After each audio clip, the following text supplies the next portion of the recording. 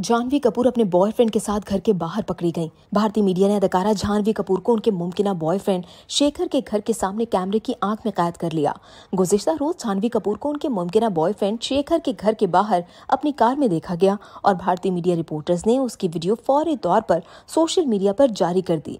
इस वीडियो में जानवी कपूर को गुलाबी फ्लोरल लिबास में मलबूस देखा जा सकता है। वो अपनी कार के फ्रंट सीट पर बैठकर अपने चेहरे को दोनों हाथों से छुपाती हुई नज़र आ रही है। जेरे गर्दिश इस वीडियो में जानवी कपूर न सिर्फ़ अपने चेहरे को छुपा रही हैं, बल्कि अपने चेहरे पर आने वाली मुस्कुराहट को भी कैमरे की आँख से छुपाती नज़र आ रही हैं।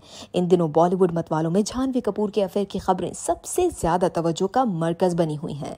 दो रोज काबिल जानवी कपूर और शेखर को मुंबई एयरपोर्ट पर देखा गया था, लेकिन दोनों एयरपोर्ट पर एक साथ नहीं थे, बल्कि अलग अलग आए थे और तस्वीरें बनाने से भी गुरेज कर रहे थे। इससे काबिल दोनों की मंगनी की अफवाहों ने उस वक्त ज़ोर पकड़ा था, जब जानवी कपूर को जामनी साड़ी में मलबूस शेखर के साथ इबादत करते देखा गया था।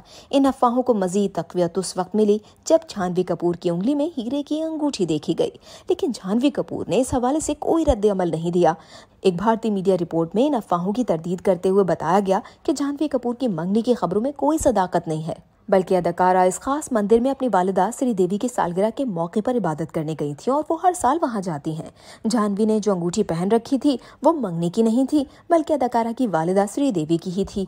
वाज रहे कि शेखर रियासत महाराष्ट्र के सबक वज़ीर आला सुशील कुमार चंद्रे की नवासे हैं।